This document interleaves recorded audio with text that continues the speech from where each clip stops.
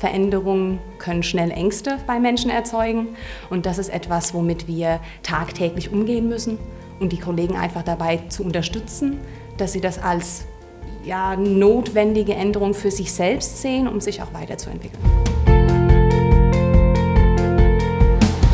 Mein Name ist Renzi Hills-Kubitzer. Ich bin Teamleiterin äh, im Bereich Sales Excellence bei der Zellbar GmbH. Wir sind eine Tochterunternehmen der Vika-Gruppe und beschäftigen uns sehr viel mit dem Consulting äh, in der kompletten Unternehmensgruppe. Wir äh, beschäftigen uns eben viel auch mit dem Goldenen Buch von Dale Carnegie. Da bekommt man ja viele Inputs, wie wir denn mit verschiedensten Menschen umgehen müssen.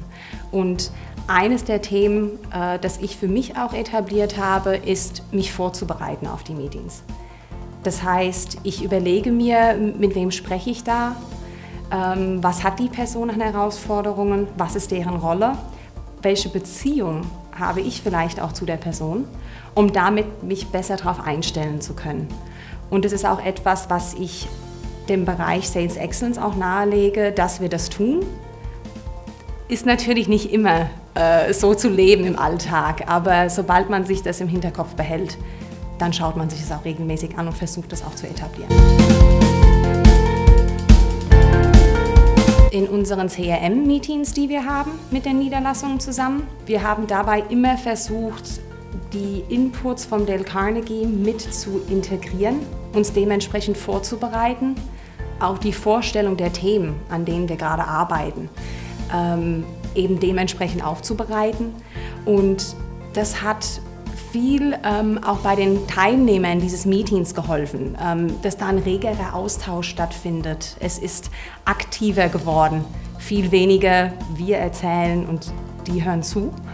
Äh, das konnten wir ändern und damit ähm, auch für den Vertrieb ähm, mehr Austausch schaffen, ein Benchmark, einheitliche Strategien, einen einheitlichen Umgang, um damit halt auch den Vertrieb natürlich erfolgreicher äh, zu gestalten.